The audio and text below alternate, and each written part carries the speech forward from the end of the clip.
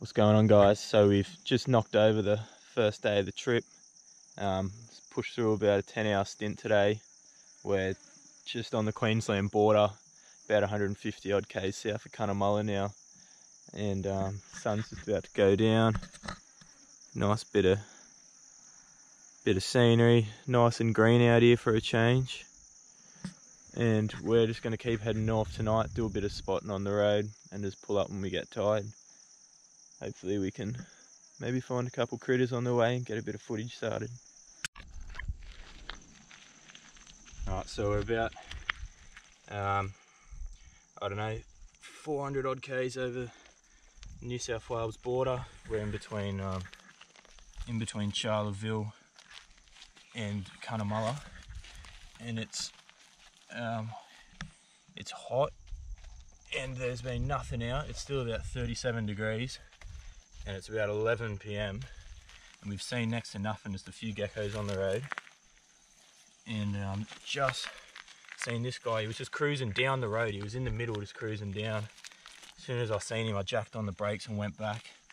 And he was still just heading down, still cruising down the road. And this guy here is a mulga snake or a king brown. And he's quite a nice size.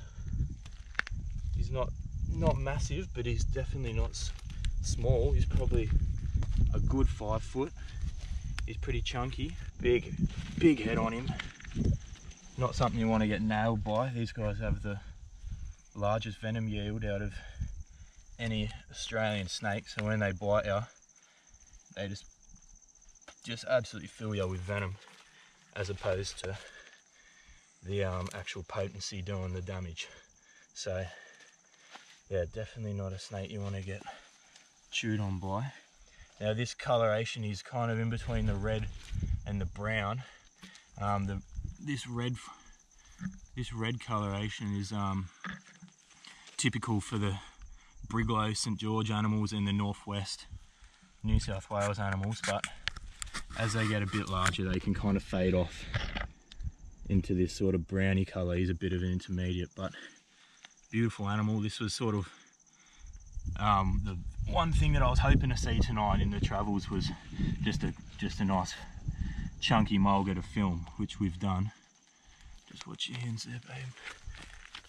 But um, yeah, nice, beautiful, healthy snake. He's got a few scars and whatnot on him, which is pretty typical for a mulga of this size. These things are absolute animals. They get themselves in all sorts of trouble. So yeah, it's pretty uncommon to find one that's not a bit beaten up, especially one this size. But they'll well exceed this size. You'd probably, I don't know, probably get on another meter on this if he stays in stays in the right areas for the next couple of years. But yeah, beautiful snake.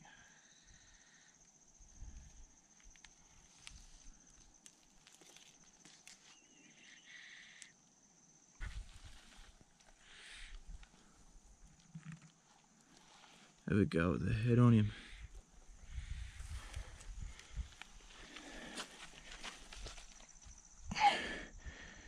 Nice bit of chunk to him. Just keep him off the road. There's a few, been a few road trains coming down here tonight, luckily.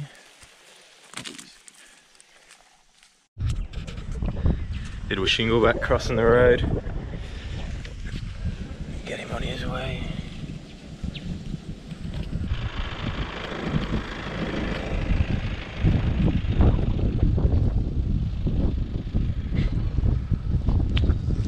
What are you doing, mate? Why are you going over here?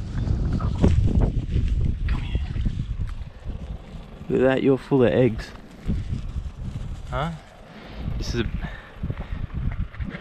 this is a pygmy bearded dragon, Pagona Henry Lawson and I. And she is chock-a-block with eggs. You can see them bulging out the side of her. We're just out here on the black soil plains in uh, sort of just south of Barcaldine in central West Queensland, and um, in, everything's nice and green. We're in good paddock.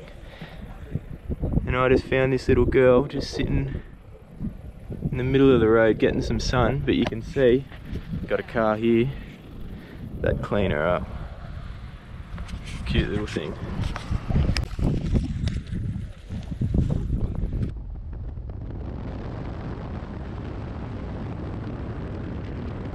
So it's day number three. Um, we didn't check in yesterday for day number two. We just drove all day yesterday, all night. Um, nothing too crazy really happened worth filming. We picked up a hitchhiker and um, he wanted to go from, we picked him up in Charlottesville. He wanted to go to the next town and we, yeah, and then it, he was like, oh, I could go to, to Mount Isa. So fucking like 11 hours later, be taken to Mount Isa. I don't think he knew what he was in for, but if you're watching this, Ben, you're a fucking weapon. Mad cunt. Um, probably gonna have to blur that out, but yeah, so we're just down here in this little oasis having a swim, driven all day today. And um, yeah, have a, have a go at how clear this water is.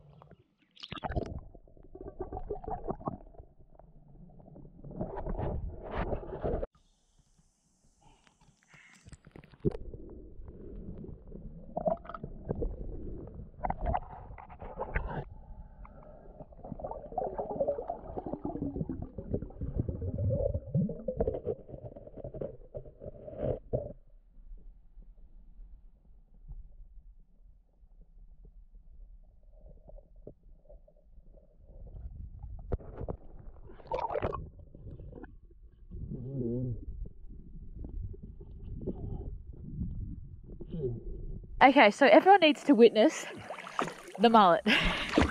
Go.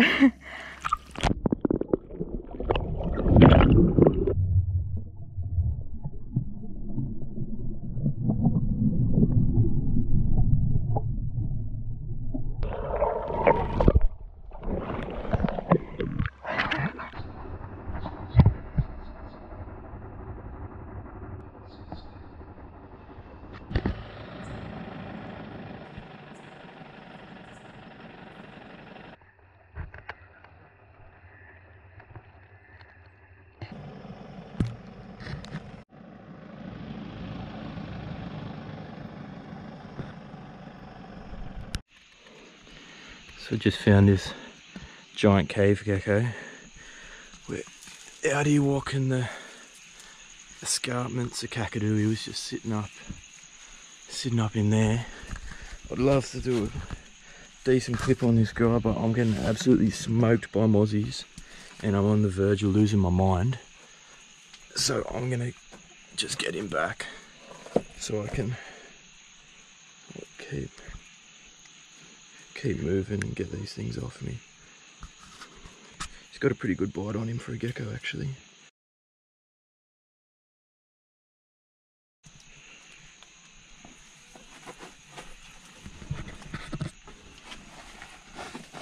Off he goes.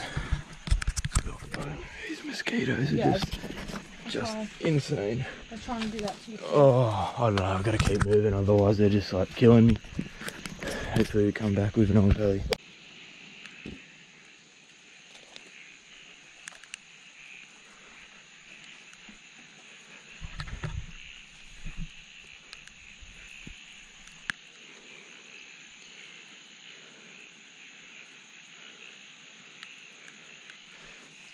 Do you want to have a look at him, baby? No, I can't. Baby, they're not. This is what I've been doing for the past Well, you got a lot of them around you. 10 years. Yep.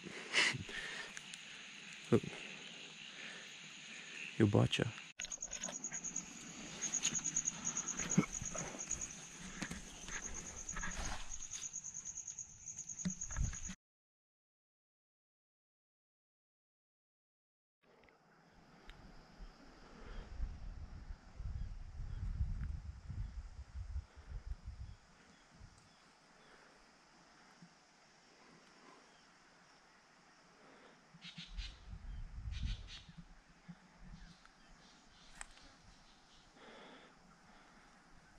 Alright, so we've made it to the Arnhem Escarpment.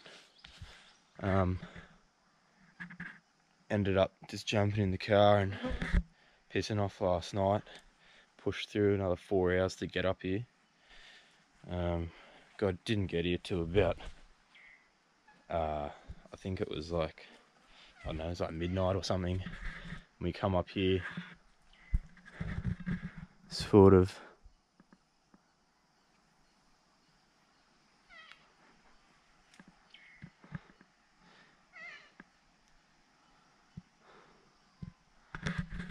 having a look for some um, Arnhem species.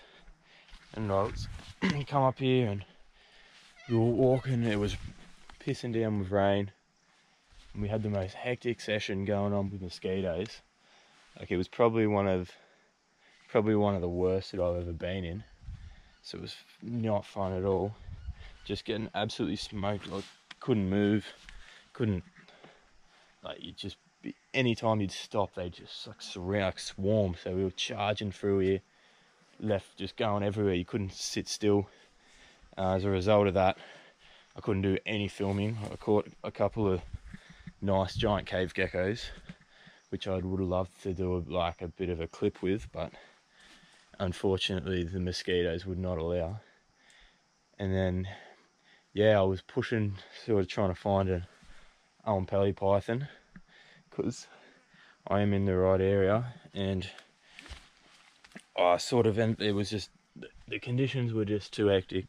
So I so I sort of called it quits and as I was walking back I looked in a crevice and there was a shed of an Oenpelli and it kind of really got me going like pushed me to pushed me to want to to look. So we we stuck around and we were pushing through all this wild weather, mosquitoes, and everything. And then, yeah, called it quits. We got back at about 3 a.m. So it's early morning now this morning. I think it's, it's not even 8 o'clock yet. Um, there's no. The sun's sort of a bit, a bit hidden behind the clouds. And I'm hoping that maybe after that rain and that cold weather, that um that maybe I can just find one basking, just sitting, maybe maybe out here in, in a patch of sun or something. So anyway, I'm gonna I'm gonna do that. I'll have a walk around for an hour or so, and if you don't find anything, then I'm gonna go have a swim somewhere. So hopefully we can check into something cool.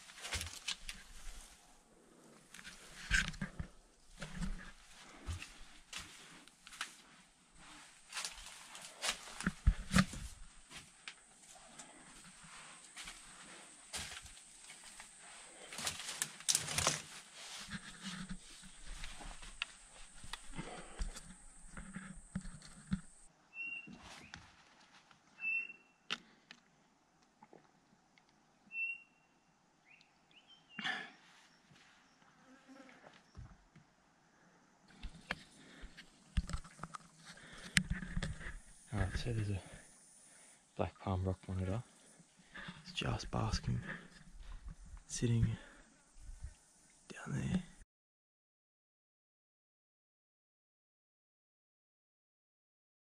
These things are extremely flighty. It's a beautiful animal. I've managed to actually find six of these in the last two days. I'm going to try and get down to him.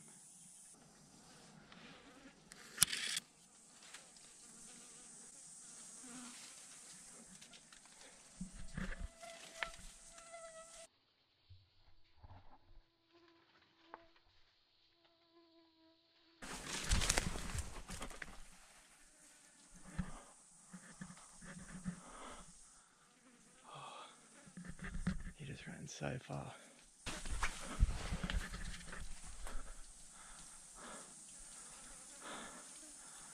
I don't even know how that did that. Just ran so far. Such a short amount of time. So it's almost midday, and uh, spent most of them, most of the day up here, and uh, getting dehydrated, sort of running, running off basically nothing all day. So just trying to get as much water in as I can. It's hard when there's only little trickles like this. You can stand here for 10 minutes trying to get a good drink. You see it was running over that, over the edge of that, this overhang here.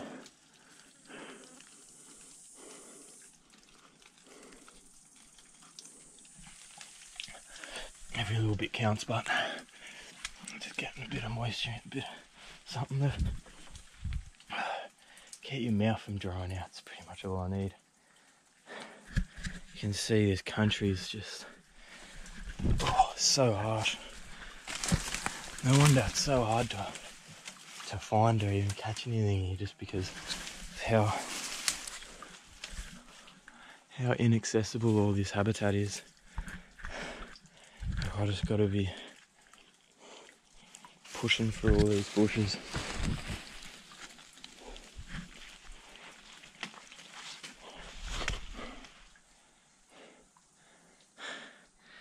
Gotta get all the way back down there. Well, sometimes, no matter how hard you work, you just can't find that target species. We got a couple special guests to pick up tonight from Darwin, so I got to get to Darwin and uh, got to buy stock up on a couple things. And um, yeah, I guess the next part of the adventure is going to start.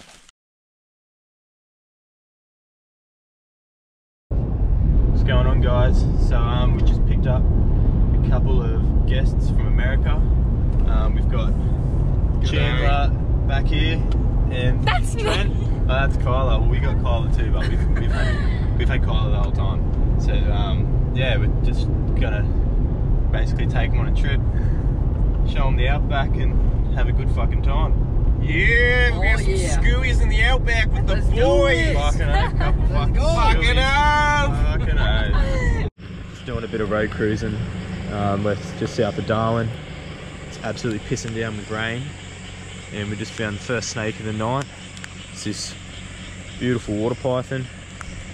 It's only a um, probably a, a young adult, sub-adult maybe. They get a lot bigger than this, probably up around six, seven foot mark. And yeah, pretty common find here. Oh, I don't know, I'm being retarded. Hey, Rick. No, That's right, yo, that's right. That's not the only thing pissing down. How's it going, Chandler's Wildlife? Ricky's showing me around the outback, and it's awesome. so wet out here. Hey Chandler, when you're done pissing, you want to come tell us? Okay, but I'm, I'm not promising washing my hands. There's no soap. Yeah, right, mate. That's alright. The snake won't mind. I'm keeping the salties away. Yeah, so these guys um, live in these in the floodplains al- along most of the top end, and they mainly feed on a species of water rat that lives around here in the floodplains with them. And in the drought, the numbers of the water rats drop, and as a result, the um, numbers of the water pythons drop as well. So the numbers that you find them in fluctuate um, depending on sort of how much rain we've had. And in this spot here we're at, it's lucky to have permanent water pretty much all year round. So these guys are usually a pretty common sight and you can always rely to find a couple in a night. Dude, thank you so much for taking me out here and showing me these snakes. This is amazing. Oh, mate, I'm glad you like it. Dude, this is my first Australian snake that I've gone on this trip. Yep. Look at that thing. Look at that. What is that, like a four foot snake? Yeah, probably, yeah. About, yeah, three, four foot. Did you show him that scar? Oh yeah, he's got. It- It's pretty fresh too, dude. Look at that. Yeah. It's got, oh, it's got a... Oh, it's juicing. Yeah, that might have been from tonight or yesterday. Yeah, you can see the two, look at those, two incisions there from the rat's teeth. Crazy, eh? Right on the spine as well. Ugh. So lucky. They're such gnarly animals. they, heal from anything. He's got, he's got a couple of scars on the side of his face and stuff Oh, as does he? well. Yeah. See there on his- And this is the same family as the olive python, right? Yeah, the two members of the genus that we have in Australia. Here you go, man. Oh, we'll just get him back.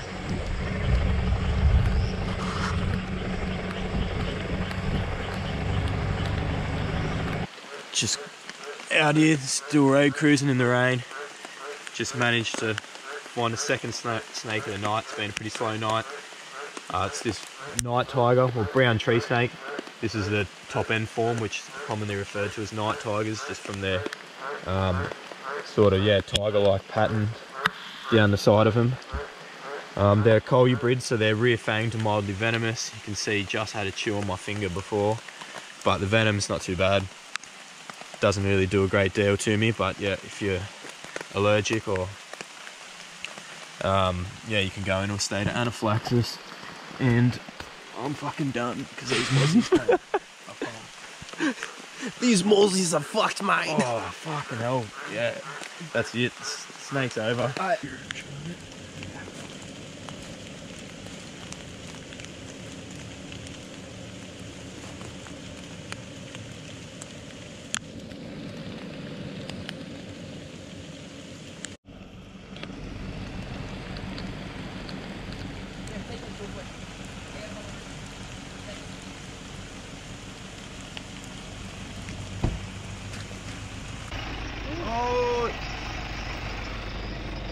Oh!